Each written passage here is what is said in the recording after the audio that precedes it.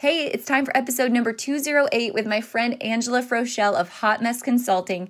If you've been a part of the Boutique Hub for any amount of time, you probably have come across Angela and her awesome work on websites.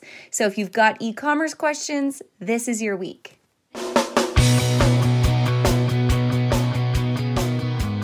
Let's talk about your business, strategy, and the juicy details of what actually works from mainstream fashion to fashion on Main Street and the entire ecosystem behind it. How do we scale your company and do it with the balance and the happiness that we all seek? Let's hear from those insiders, experts, and strategists that actually make it happen. I'm your host, Ashley Alderson from the Boutique Hub, and I can't wait to chat.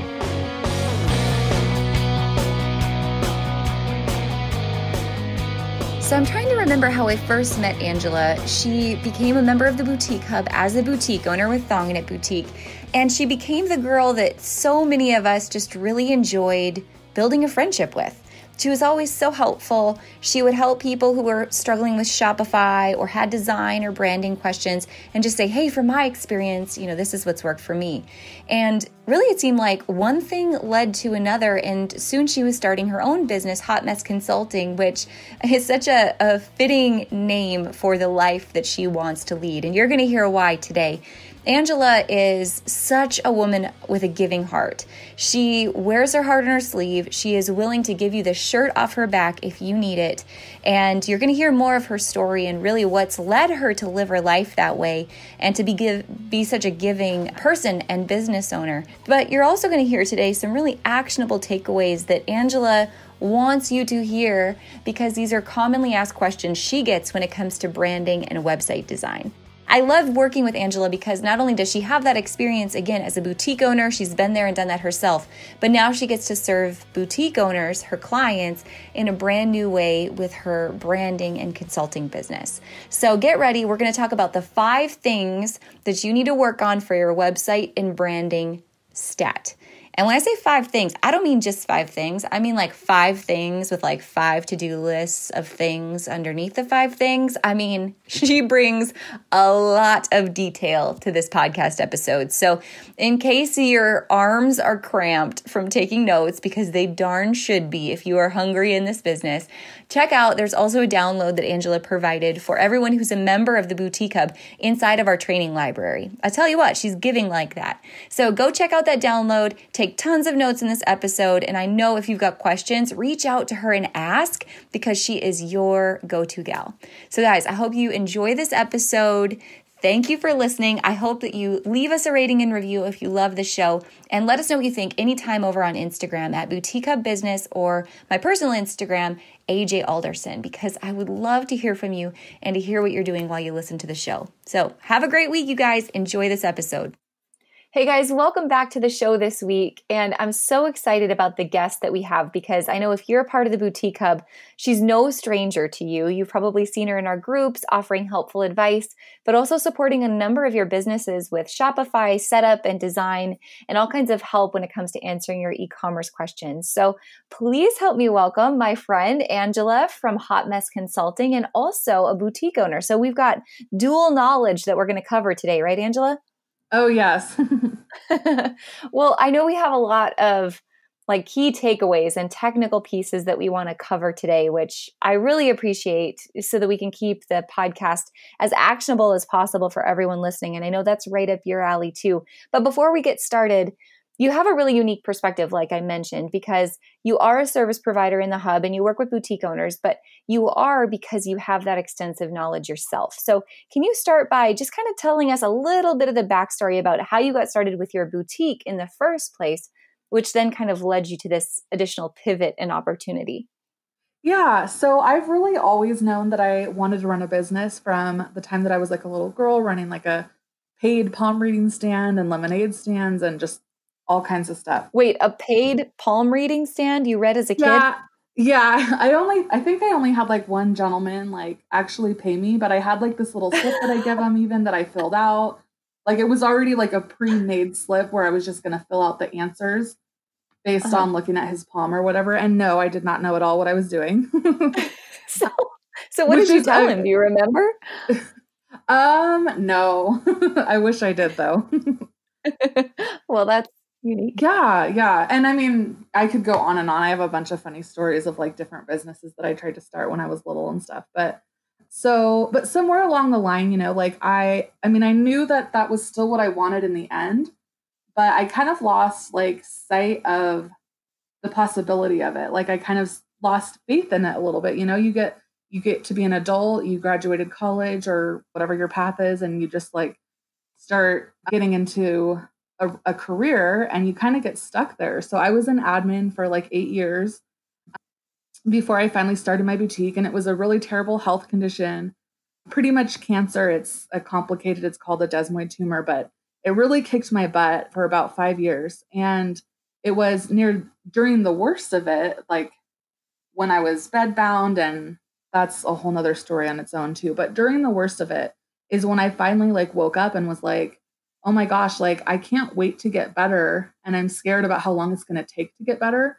But I'm actually more scared of getting better just to go mm-hmm. back to the life that I had before, that where I wasn't chasing my dreams, where I forgot what I wanted out of life.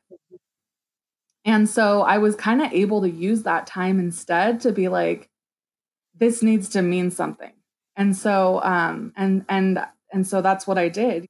With the boutique, I actually like 13 years ago, I wanted to start the boutique and it was going to be called Thong in It Boutique because I was going to specifically sell thongs, the panties, and flip flops. Those were two of my favorite things at the time. And um, I made a website, which I actually kind of had to do like the coding on myself because this was like before Shopify or before any of these programs just made it really easy. So I was using this thing called Zencart. And again, I had to get into a lot of coding just to make it look even a little bit cute. And anyway, so I did a bunch of stuff, but I just never pressed go and really started the business. So fast forward to dealing with this health issue that was opening my eyes. And I, it was literally like in the middle of the night, and I was like, okay, what am I going to do next then in my life? Like, if I if I don't want to get better because I don't want to go back to where I was, what's next? And it was literally in the middle of the night that, that the boutique came back to me, and I was like, oh my god. And at the time, LuLaRoe and everything, like leggings were all the craze. So I was like, well, what if I could start with like leggings or something? So I looked up wholesale leggings, and right there at midnight is basically when my boutique started rolling around, like trying to figure out what to do, and literally on my phone. So as I was looking for leggings to buy wholesale, you know, everybody was like, oh, you need your wholesale license. You need your wholesale license. So I Googled it right there, and I was able to apply in California for my seller's permit for free, all on the phone, like in 10 minutes. And so and that was it. And from there i um i just took off with it and i never stopped. Oh man. I i remember when you and i, I think first connected you must have just started your boutique or you were fairly new into it i feel like. And were you still maybe battling the tumor big time at that point i feel like i remember you telling me about being bedbound during that time and just how that spurred you on which is remarkable like what good can come out of such bleak situations? Yes, yes. And the tumor, so I am basically almost three years or just over three years, something like that, um, tumor free. Mm. And hmm. this was a tumor that has a really high recurrence rate. And so, like a lot of my counterparts, like fellow patients that I'm still friends with and stuff, are still suffering and they think that they'll be suffering their whole life. And at one point, I wasn't sure whether that was going to be the case for me either. But I have this really strong, like, will, you know, and I'm like always like mm-hmm. I am never willing to settle like this is good enough. Like for me, tumor free mm-hmm. was the only thing that was going to be good enough. So when there was doctors saying like oh it's if we can just get it to stop growing any bigger when at the biggest it was 20 centimeters and it was in my hip. Like it caused problems mm. walking like all kinds of stuff. So they were like you know we don't recommend you get it removed because it'll just come right back. And and i did get it removed and it did come back but but then there was more treatments after that. And anyway so now it's been like three years and so i mean that's another thing is just like never give up on like what it is you really want don't settle for what you have right now if what you really want is more than that. That's kind of off topic but your question was yeah. No but it's so when i was so crucial. Yeah. Yeah yeah. So yeah when i first started i was bedbound and i was off my off work um, on disability from my regular job. And so, you know, I was low on funds because disability doesn't pay you all you normally get. And I was still recovering and learning how to walk again because my first surgery, they took out my gluteus maximus on the left side. So I literally had to like learn how to walk again. And I still have a limp and will always, but whatever. and so, yeah, I got started still in bed and just on my computer and mm-hmm. just kept trucking along. So, at what point, as you were going along through this, you know, in building the boutique, building the online piece of this, did you realize, oh man, there's other people who have questions around something that comes relatively easy for me as you began to figure yeah, it out, really? How did that all transpire? It's so crazy, like how it all happened, um, as far as like the boutique and then Hot Mess and like I always knew that I wanted to help other ladies. Like really early on in my own business, I was if people came to me asking for business advice, I was really happy to help them. I mean, I never wanted to like give them bad information. So I, you know, wouldn't go mm-hmm. beyond what my knowledge was, but even if you just started your boutique, there's always going to be somebody that's behind you that you can help. That's just a few steps behind or whatever. And so the main thing that I helped in the beginning was like I would help ladies with like branding. Like I had a friend that sold handmade jewelry and she really didn't have a logo or colors picked out, you know, even just the basic stuff. So I kind of helped her with that and get her business cards designed. And um, this was long before I ever charged for my time or ever even thought that, that you know that this could be a business or anything. So Shopify itself, like and websites in general, have always been an interest to me. And when during like before Hot Mess, I spent most of my time working on my website. Like that really was the main thing to me. Like we all have our strengths and weaknesses. And that's also something to consider when you're looking for help or when you're looking to grow is like, what do you do best? And keep doing that. and what do you mm-hmm. maybe not do the best? And can you outsource? Because it's not always, sometimes it's about quality. Sometimes it's just about time. Like time really is money when you have a list of things that you're amazing at and then this other thing could take so much of your time that it's just not worth doing it's an absolutely true growth principle actually sarah says this all the time inside of retail bootcamp do what you do best and hire the rest yeah because yes there's no doubt everyone can hustle and figure it out but that does it costs you money and what is your time worth and are you truly valuing that yes at the end of the day yes exactly Exactly. How did you come up with the name Hot Mess when you first decided to yeah. start this new journey? So this um, name actually started out as what I was gonna just do. Like I was just gonna have a blog, and it was just gonna kind of talk about my journey on starting my boutique, and I was gonna share it with other people in case they wanted to just needed some inspiration for starting their own business or even not a business but like whatever it was they were working on you know like believing in the impossible and just taking the steps needed to just do the thing whatever the thing is. and so mm-hmm. that's where the name originally came to me. And that one just came to me so easily because it's just the truth. Like, I've worked with hundreds of hubbies and boutique owners in general now, and uh-huh. we we're all hot messes. Like, if we say otherwise, like, I mean, anybody who comes to me and says that they're not, like, I know they're immediately lying. True. True. So, as you work with retailers on a daily basis so not only you were just we were talking before we started recording this show that you've got gals helping you with hot mess consulting sitting in another room right now and you've got other gals sitting in another room working on the boutique as you continue to build this really cool empire that you've started. I'm sure you hear feedback up to the minute feedback from boutique owners on a daily basis about most commonly asked questions they have with Shopify specifically. Can you talk about what maybe some of those commonly asked questions are and how you could help some of these gals who may be thinking of them right now?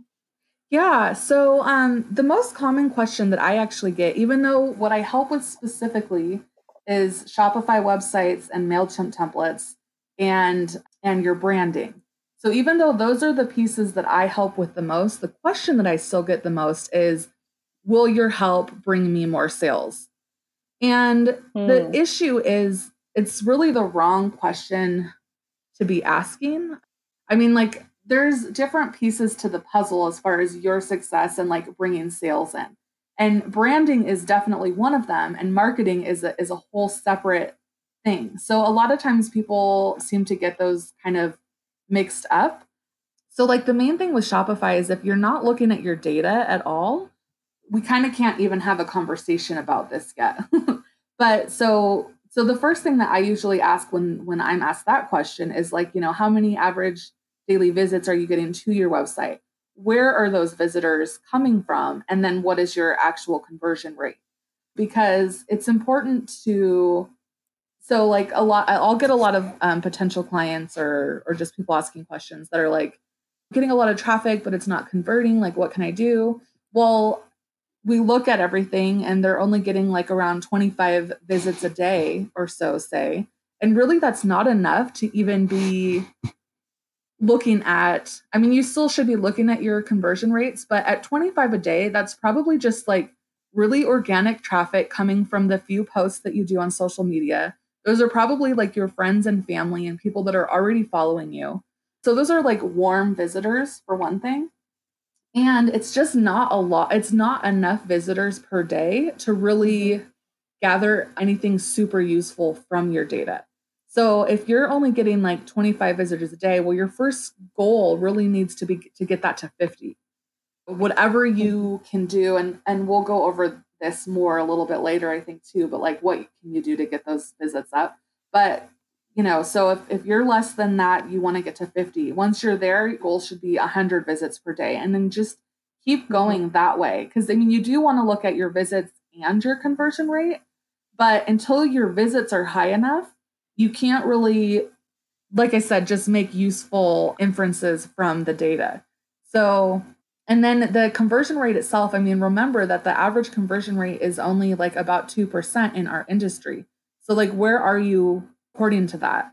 And if you're starting to increase your traffic, and this is brand new traffic coming in, or it's colder traffic, so it's people that don't already know you, your conversion rate is going to be lower too. You know, you might be mm-hmm. used to having like a really high conversion rate when nobody's really looking at your website but that's because the very few people that are looking are your friends and family and they're already ready to buy. Mm-hmm. And so you really just want to work on getting that traffic up. And then the other thing is like, how is your website when the traffic is hitting your site? Like, is it, do you have enough inventory? Do you, uh, well, we'll go over some of this later, but really that's the main question that I get is like, can your help bring me more sales? And honestly, my answer is no because there is so much there are so many other factors in mm-hmm. the success of your website and increasing your conversion rate and everything like i'm just a, a piece of the puzzle man i love that i love it and so i think what we should do next we were kind of strategizing man how could we lump all those pieces into one flowing topic right because you're right i always I always use this analogy that being a successful boutique owner is like a four legged stool, right? Where you have to be great. You've got to have great financials, like financial know how. You've got to have the right inventory. You have to understand marketing. And then there's like the whole personal mindset piece. So there's so many pieces that go into you as a successful business owner. But I mean, even just you and e commerce has all these moving parts. So let's talk about this five things to work on for your website and branding ASAP so that you can generate more sales, right? Yes. So yes. tell me about what is number one for you? So, one of the first things that I work on with clients, um, and some don't have an issue with this at all, but is your menu and navigation. So, this is the thing that's hard is that your menu and your collections is something that you often, well, not often, you always set up, you know, right when you very first start your boutique and website. So you don't know on that day what you're going to know like a year later. And I think that a lot of times the issue is just that clients never go back, boutique owners in general never go back and kind of reevaluate if their menu and navigation is even still working. So they just keep adding more items to their menu, adding more item, more collections. But really what you want to do is sit down and be strategic about your collections and how they're organized because you want it to be as easy as possible and as fast as possible for your customers to get on there, find what they're looking for, find your best sellers, which are your bread and butter. So you want to make this all just as easy as possible. So for one thing, if your menu is in is has so many links, like you're just your whole main menu, that it's in two lines, it's way too long. Like it really should all fit into one line. Like that is your mm-hmm. first goal. So, how can you reorganize things so that what's most important is right there as a hot link and otherwise it's in like a drop down. So, for shop, for example, I'll have say that you sell women's and kids' clothes, just as an example. You you would automatically probably already have too many categories to just have them all listed on the main menu. But what you could do is like shop women's, shop children's and then each with the drop down. And then even the drop downs, you don't want to have like 15 to 20 links. That's going to be too many that some visitors, and when I say visitors, what I'm talking about is cold visitors that are new to you. These are the ones that you want to work hard to convert because the ones that are coming from your from your Facebook group that love you anyway, like they really don't care what your website looks like and they probably don't even care how easy it is to use. Like they don't care if it takes forever to load. They don't care if it takes them a while to find something because they can even mm-hmm. just message you and be like, hey, where is this? So, what I'm talking about is trying to make this easy for the brand new person that's really valuable to your business because if you can get them to convert once and even twice, then maybe you can, you know, have another loyal customer there. So, when you're organizing, so like say shop women's clothing, again, you don't want a super long list. You want maybe like ideally like five to six underneath that. And then if you need to subcategories from there, you can. But uh, I would only do that if you have a large enough inventory to do so. So, like if you have, if you're gonna say that you want to do tops and then you want a subcategory short sleeve, long sleeve, tunic, well, that's fine as long as each category is gonna have like mm-hmm. at least 10 to 15 items, at least. Because you don't want a bunch of categories that are empty and you didn't even realize they were empty or they or even just like have only a few items because you really want it to be as simple as possible for your customer to see like most of what you have and to make it look like you have a full catalog maybe even if you don't yet so just if you really do have a large catalog like especially if you have a brick and mortar like of course subcategorize it totally makes sense but if you don't, then just don't do that yet. You can always do that later when you grow. Start off with just tops, bottoms, dresses, you know, that kind of thing. So, really just making sure that everything is organized in a way that makes sense. Your best selling, like if you have a best selling brand, you may want to mm-hmm. put them right on your main menu. But again, you also want to consider like a lot of like if you're if you have a brick and mortar store and say this is your first website, it may not matter what's the best selling in your store because your your online website is going to be for a totally different audience or that's what you have to assume anyway like maybe some of your visitors will also shop on your store but again those ladies are already loyal to you they don't care how your website is going to work as much as a new visitor will and like if you sell uh, if you sell a really large variety of things in store you may not want to you may want to leave some things off your website altogether and really focus on just clothing versus mm-hmm. like home decor or that kind of thing because you can always add things back in but your the audience that you're going to be trying to attract for your website is likely going to be different than the audience that you attract for your store mm. very good tips would you besides the shop category question for you besides the shop category on the main navigation, is there any other like calls to action you would include on the top navigation navigation? Yeah, so I always like to make sure that um that clients have like obviously an about page and on this about page like make sure it's not third person. People yeah. these days want something personal. So, why did you start your boutique? What does it mean to you? Like what kind of a difference do you want to make in the world? Like, who are you besides the boutique? All good things to talk about. So, an about page and a contact page, um, and those can be in one drop down.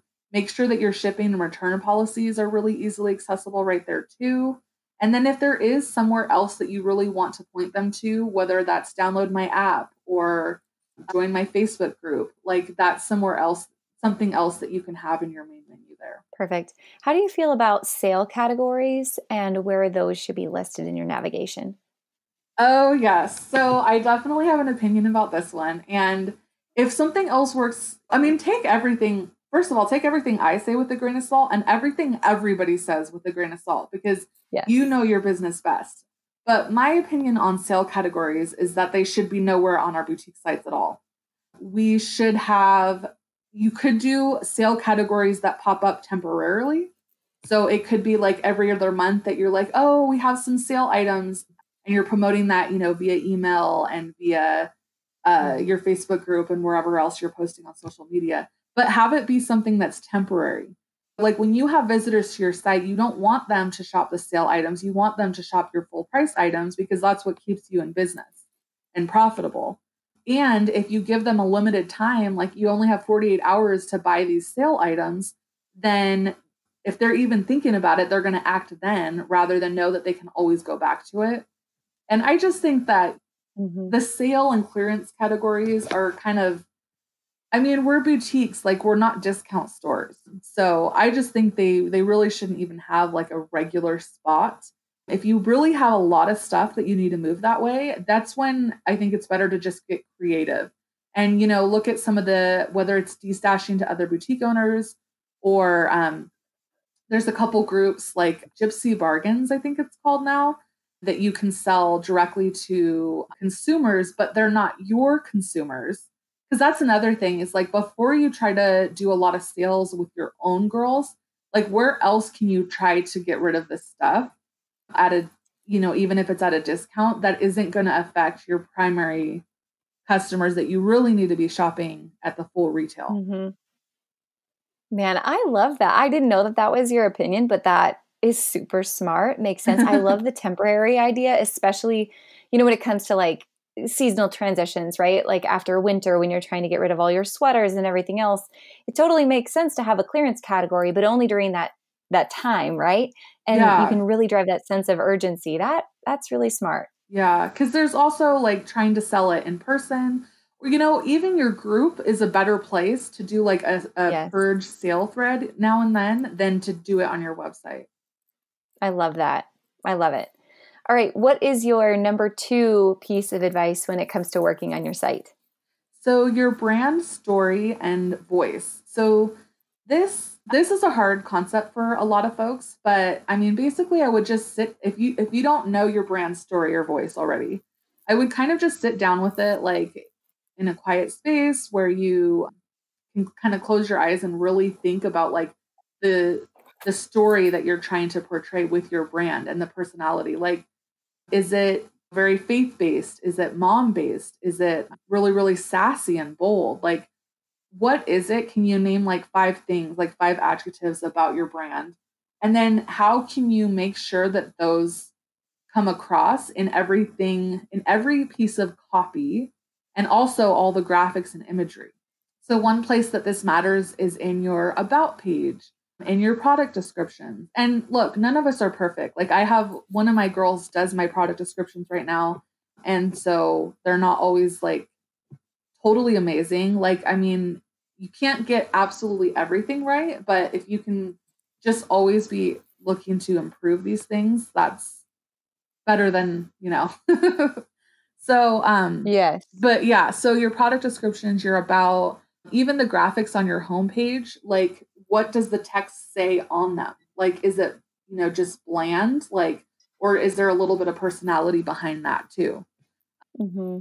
So, and then also in your social media posts, you want this to be apparent. And, you know, what you could do too, like, especially this is hard because if you're outsourcing it, I mean, for example, if you're hiring like a VA to do your social media posts, well, unless that VA is really good at copy, those posts could be bland. So, one thing you could do is when you have time, I know we never mm-hmm. do, but like sit down and create a list, like a spreadsheet of like copy ideas, just words and short phrases and things like that that really tell the story that you're trying to tell with your brand. Um, and then you yes, can share that I with love- those people that are working on your items. I love that. Even uh, one place I love to go look at like unique copy and marketing ideas. Um, number one is MailChimp you know, if you log in there, like say 404 pages or just how they speak on their website is so unique to them. But then also the men's brand Chubbies. Do you follow Chubbies? Oh, I've seen one of their emails. I don't follow them, but it was definitely. Oh funny. my gosh, you of all people would just love them. Their stuff is so clever. Yeah. But I love just what you're saying, how you can take that unique voice and microcopy everything and just put it in a doc. That's super smart.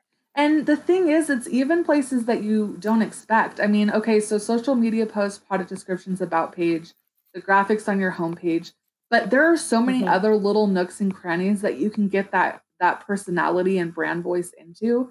So, like every single email that you send, the names of your categories, the names of your items, although I'm partial to using descriptive names for like SEO purposes, search purposes, and just so that your customer knows what they're looking at. But you could try to, you know, you could kind of have them still be fun names that are also descriptive. But it's just the point is like, you know, your business card, the thank you um, package insert that you send them, like all of it, any way that you can infuse that mm-hmm. personality, like every last little line.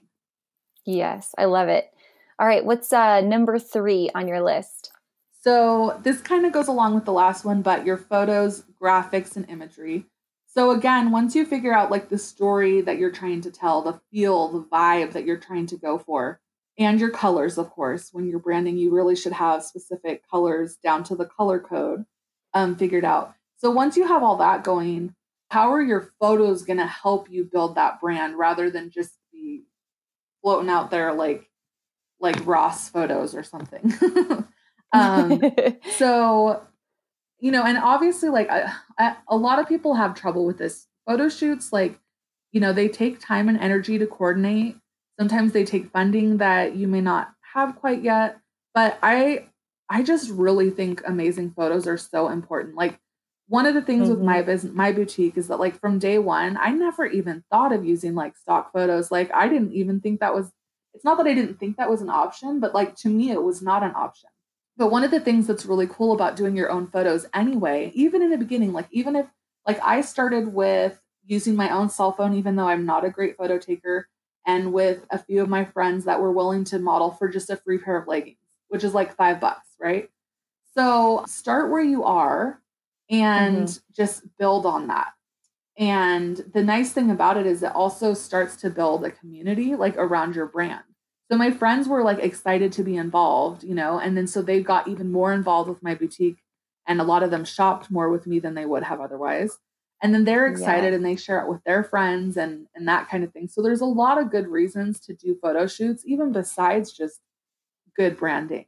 But absolutely. The photos that work in your group like selfies even behind like a dirty mirror like hey, those work in your group. like you're because again the girls in there like love you or they wouldn't be in there following you. But on your website you really want to make a different impression. And because you're really trying to lure someone in who's brand new and doesn't know you already. So i just it's just one of my biggest things. Like i didn't do this as when i first started making websites for you ladies i didn't stress this as much.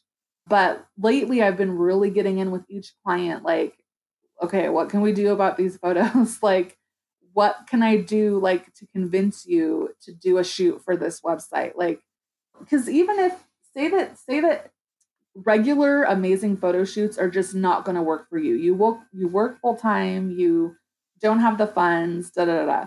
Well, can you fit in like two a year, three a year, where you're doing like a really amazing photo shoot so that you have photos to keep your homepage fresh, and to use for marketing purposes and to have for your social media as something above and beyond the other dirty mirror selfies that you have on there. So, yeah. yeah, I'm just all about amazing photos, but and they just help build your brand too. Totally agree. Man, and they can't be stolen across the internet, right? Or they can, but it's a lot easier to set yourself apart for sure. How yes, about especially if like you're running ads if you're running ads off of stock photos, I mean, hey, like if it's working, because that's the other thing. I said to take what I say with a grain of salt, what anybody says. If something is working for you, don't stop. Like keep doing more of it. but yeah, but man, like I definitely do not recommend running ads off of stock photos. truth, truth. All right, let's talk about your number four because I really, oh man, I think not enough people think about this one in terms of like the overall view of their business. Yeah. So the so basically think about your customer's entire journey. So we've kind of talked about little bits of this already, but your customer's journey, and again, let's think that this is a cold customer, so somebody who doesn't already know you, right? Like, first of all, how are you how are you attracting them? Like your first step is visibility, getting in front of them. So, mostly this should be through organic social media posts, whether it's your Facebook page, your group. Pinterest is a great one for that, um, Instagram and Instagram stories, right? So, this is all organic, unpaid. Or if you do want to start to get into paid, it would be like brand awareness Facebook ads, right? Just kind of getting getting in front of people. Like right now you're not trying to you're not trying to get them to jump right into buying because it's just not going to happen like that. They need to see you several times. They need to get comfortable with you. Like but how are you going to get them to see you at all and just get in front of them? So this is where your brand matters in your mm-hmm. in, in the posts that you're making everywhere. So again, the personality, the photos, the graphics, the cohesiveness of everything. Like if they see you on, actually, I had a, a client recently that I'm working with right now. She came to me with like certain brand colors and a certain, I had like a certain idea about what her brand was based on like the survey that she filled out. And then I, when, as I was starting to work on her project, I looked at her Instagram and I'm like, girl, this is so bright and fun and like gorgeous. And this is nothing like what you were telling me to do for your website. So you want it to all be cohesive, not only because, like, if you're spending energy attracting people to this, if they get to your website and it's something else altogether, that's just mm-hmm. not helpful. Oh my God. So I feel like I have those stories of coming to people's websites going, whoa, not at all. Like you expect it to be a certain level of class or price points. And I'm sorry to totally interrupt your train of thought, but I think where you're going, so many people today are wondering, how can I charge more? When their brand is reflecting a lower price point appeal, right? So yes. you're spot on with how your website really needs to reflect who you're wanting to portray. Yeah. And it's hard because with the social media platforms, every social media platform has its own rules and culture basically so maybe like so with this client i almost thought well maybe she just thinks like that's the best way to attract people on instagram so that's what she's doing or maybe she's outsourcing it and she doesn't even like this and that's just how it is and her real brand is what she's been telling me over here but when i talked to her it wasn't the case at all mm-hmm. and she mm-hmm. was willing to go deeper with me on working on this to create something even better that really matches that's just cohesive all the way around so it's hard like you don't want to you don't want to like conform to a certain social media platform because you think that that's going to be what's best if that's totally against your brand so it's it's finding mm-hmm. that balance of like what's going to work on these platforms and you know maybe it could be that your platform doesn't have any need to be on Snapchat, for example. Like if none of your potential customers are ever going to be on Snapchat, then, you know, don't waste your time there kind of thing. Yes. Amen. Right there. Yeah. So first is getting visible.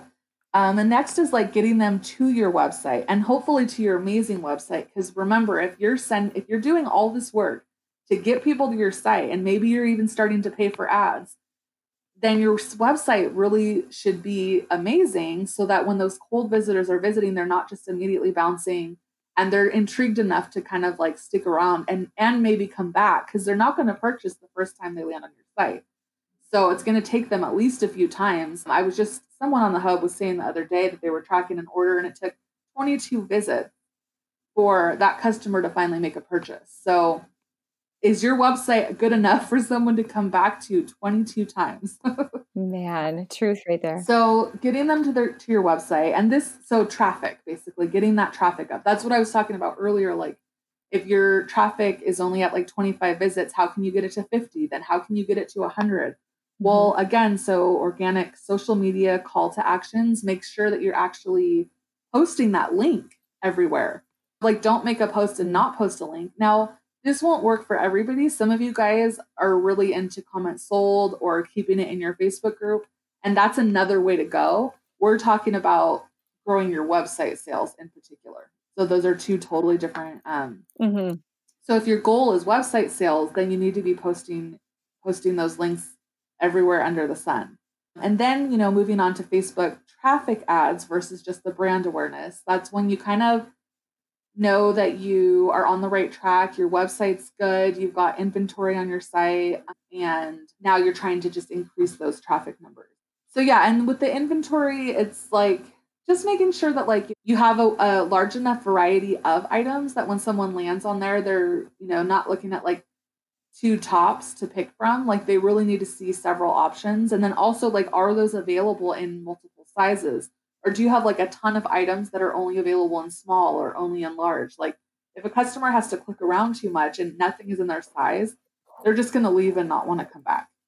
So, yeah, visible and then getting them to your website and then getting them to follow you from there. So, on your website, how can you attract them to join your email list? So, that's like a pretty pop up, maybe offering something like right now on mine, I just started offering a free pair of leggings with every purchase. And that's only $5. Like I just stocked up on leggings and that is totally worth a brand new customer to me, you know, like if that helps and just getting them on my email list in general. So, how can you get them on your email list? How can you get them to download your app? Um, a lot of my clients now are asking for um, banners and buttons and whatnot on their homepage that will go directly to download the app. So that's always good. How can you get them in your group if that's a big channel for you? Like whatever it is. So getting them to follow you. And then how do you keep your brand like on the top of their mind? Like how do you just kind of keep that visibility up? So that's just like posting consistently on your platforms and making sure those posts are on brand and often. So, often to me is definitely at least twice a day, depending on the platform. Instagram should probably be more than twice a day, and you should definitely be using stories, which I'll tell you, Instagram is not my jam. So, like, that I'll say that, but there's a lot more to it. my jam is um, Facebook for sure. Man, so, and then sending out your emails, MailChimp, and again, making sure that's all branded, um, pushing out notifications if you have an app, and then retargeting them when they add an item to cart. So, like you can be retargeting them through Facebook Messenger, emails, again, push notifications. And every step in this process, again, how can you make sure that this is branded? So, like if you are doing Facebook Messenger retargeting efforts. I can't even think straight.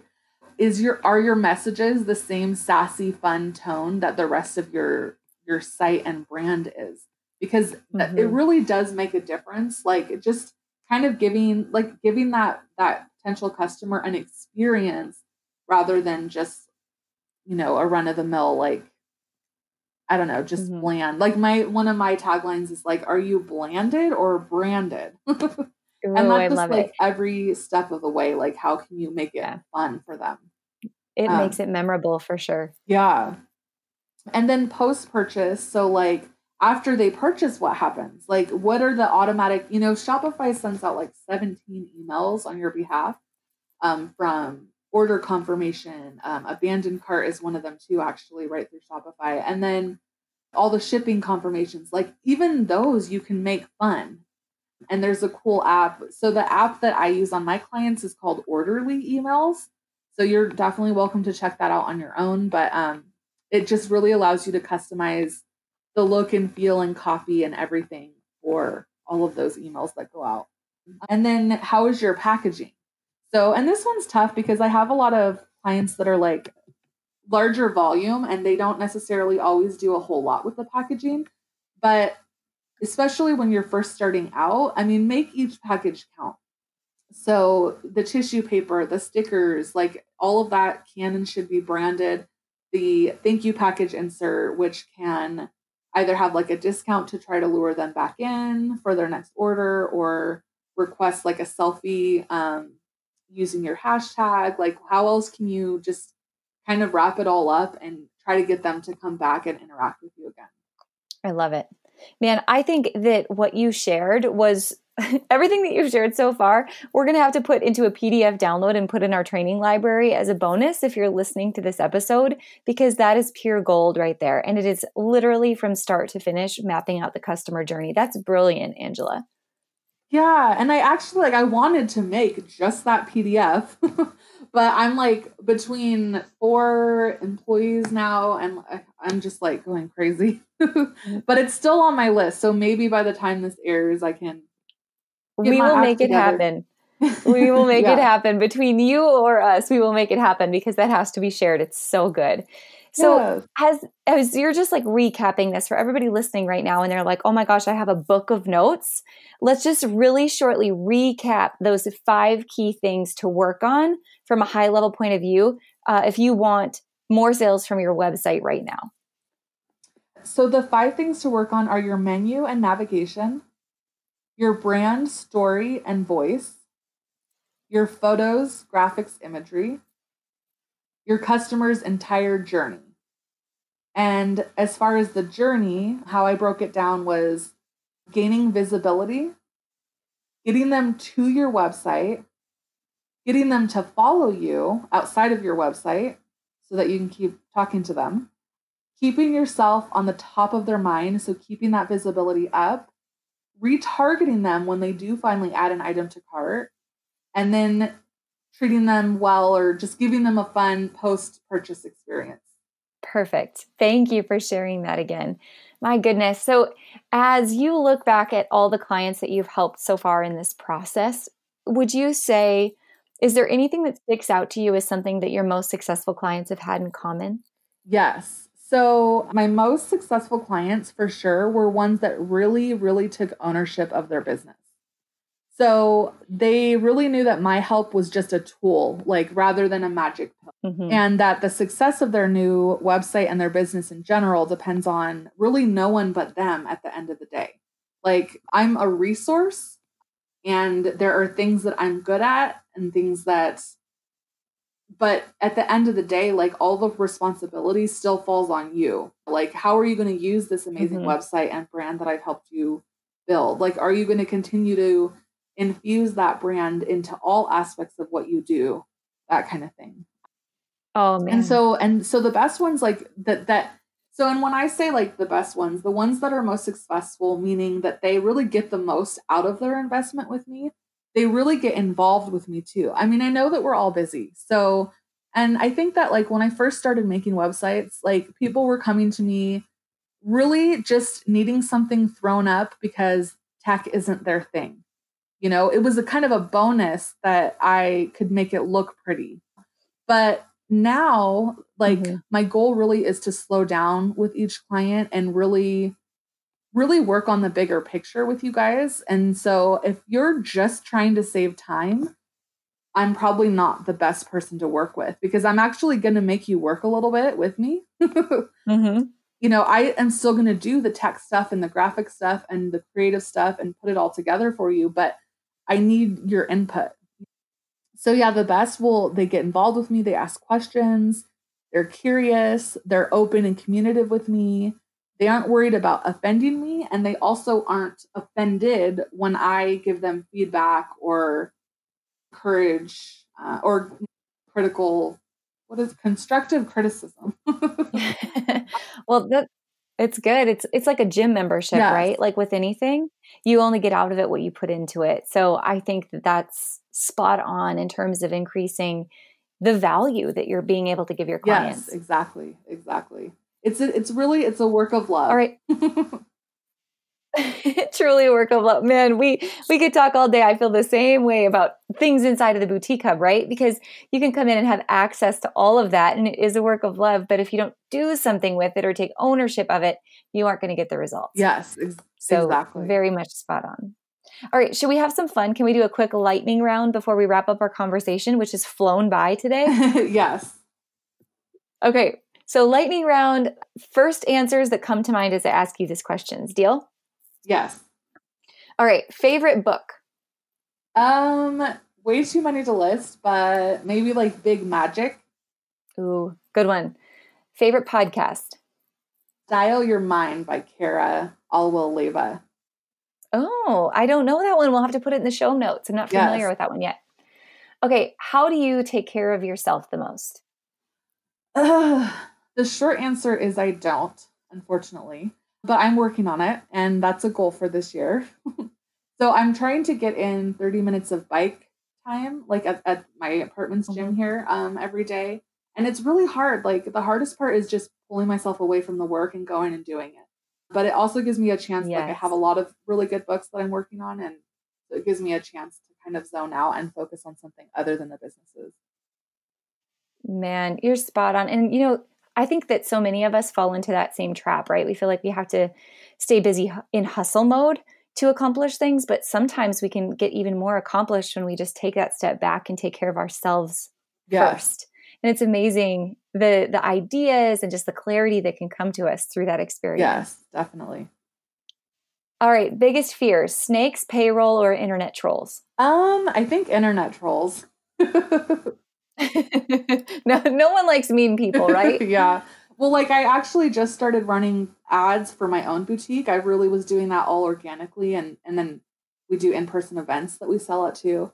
And um because mm-hmm. like my my ads are a little bit bolder, like about carrying all sizes and and whatnot, I think they're because they're bold and in people's face, I'm actually getting a lot of comments on them, but a lot of them are are troll-ish, you know, like oh well you say yeah. you carry all sizes but you only go up to 3x and da da da. And i agree i agree but it's still like did you have nothing better to do today? Right. Oh man i call them couch jockeys.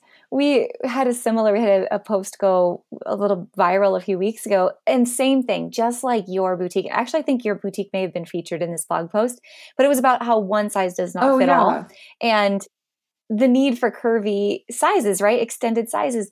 And we actually started to get negative comments from like one or two people on, well, there's not enough out there for extra smalls and petites either. I had that too. So on mine, not only was somebody like, well, you don't have larger than 3X, somebody else that was thin said, well, I, I was really offended when I went to your website, or no, disappointed. And there were no petite models because, like, right now, both my models are like a size extra large. Uh-huh. I'm I'm working on that. We had a petite, and then it we had two and then they're not available anymore. Anyway, so yeah, I had that mm. too. And I was like, yeah. Well, normally it's the other way around. So, right. Not your customer. And that's okay, right? You stay in your lane and you own who your ideal customer is. Yes, yes. All right. Boutique or boutique? Boutique for sure. Perfect. All right. So let's wrap up with this because I know you know you alluded to a lot of your personal story at the beginning and just the journey that you've been on, which I think watching your journey from afar has been so cool. I mean, I really commend you for what you've built and the tenacity that you've had in doing so. And I think that you're really leaving something very special for those who are in your path, right? Those who are your clients and and people like me who just get to watch you from afar. so, I'm curious as you think about the life that you've led up until this point and the journey you've been on and the business that you're building or businesses plural that you're building in 10 years, 20 years, 30 years down the road, and, and you look back at this journey, what is the thing that you want people to remember most about what you created? So there are two pieces to that. The first one, and if you were to ask me this question maybe even a year ago or two years ago for sure, it would have been this first piece, which is your wildest dreams are possible. And, you know, because mm. I won't take too long to get into all of this, but if you don't know me that well, like I also self published a tell all um, called Why the Hell Am I Not Wearing Any Pants? And that kind of goes into this further if you're ever interested. But basically, like I have, you know, I haven't had an easy life. Like I was, you know, raised by a single teenage mom. My dad is like a meth addict, like in and out of jail. Um, I finally went to see him again like a few years ago. It had been like 15 years or something like that. And he, um, like, there was like literally no way to even connect with him. Like, he was like impossible to talk to and just like a child, basically, a child in a man's body. So uh, I, I was never given anything. Like I worked really hard to put myself through college and going to college and working full time. And I've been out on my own since I was 19 as far as like fully supporting myself. And so just that if I can like if I can make my dreams come true, and right now that like my I'm already living like beyond what my wildest dreams were, you know, at one point. And if I can do that, really anybody can. But the second piece that I want to add to all of that mm-hmm. now is yes, your wildest dreams are possible, but also you you can have it all. So once you reach that now success, I mean, you know, you can never just be done, you know, like because you're always going to be building on that dream or you should be anyway. But my big thing now is proving to myself and to all of you guys that we can have it all. We can have the success. We can um, use our dreams to fund our lives and leave our day jobs and all that kind of stuff, but also still have some balance in our life and also still have joy and also still have time to do the things that we always wanted to do. Like a, a couple months ago, I booked my mm-hmm. first trip out of the country. I've been wanting to travel since I was like a little girl, and I'm going to be going to Bali in May, like alone. and um, yeah. I mean, I'm like getting nervous even now, like it's a couple months out, and I'm like, oh my God, I have so much work to do before then. But like, honestly, like if we're not living our best life in general, then wh- like, why are we here anyway? You know, like, because we all came here for freedom and mm-hmm. to have mm-hmm. like a better life. So I really think we can reach success. And then once we're there, we can also learn how to slow down and enjoy life again, too. Man. Man, I love that, Angela. I think there is something there literally for everyone to take away, no matter where they're at in their life's journey, right? Because there's so many ups and downs from starting a business to finding what you really want that success to be to actually like you are feeling like you've reached that point and now what's next right? Yes. Yes. Man. Well i just really want to thank you. Again thank you for your time. This is the second time you and i've got to go through yes. this process together. But i'm so glad that we did and i'm so glad that our paths crossed and that you are the person that you are and the way that you help our community inside of the hub is just awesome. You are so helpful inside of the groups, always there to lend an ear or a hand or advice. I just really want to thank you for that and what that means to us at the hub, but to our entire community. Yeah, definitely. And I am just so glad that I found you guys and both my boutique and hot mess really would not be here without you. And it's just it's just amazing the community. Like I never I never really like fit in in school. Like I was definitely never popular, but I feel like I just I fit in with you guys here, and I just love like I cannot wait for Summit again mm-hmm. to see all of you. agreed, agreed. I can't wait to see you too. Man, thank you so much, Angela. You guys definitely check out the show notes for this episode. We're going to have links so that you can connect with Angela directly, ask her your questions, learn more about her business, but also we're going to try to get that PDF download for you into our training library at the hub as well, because man, there is a lot of meat to take away today. So, again, guys, thanks so much for listening. And Angela, thank you a million for your time today. Yes, thank you, girl.